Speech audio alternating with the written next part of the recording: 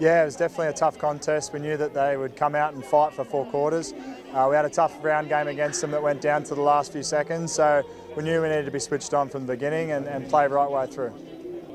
Yeah, this week's been all about us um, getting together as a team. We're spread out all across the world and uh, use the opportunity to play some really um, competitive matches. So uh, for the next sort of few months, it'll be in the build-up towards World League finals and world, and obviously ultimately uh, World Championships later on in July.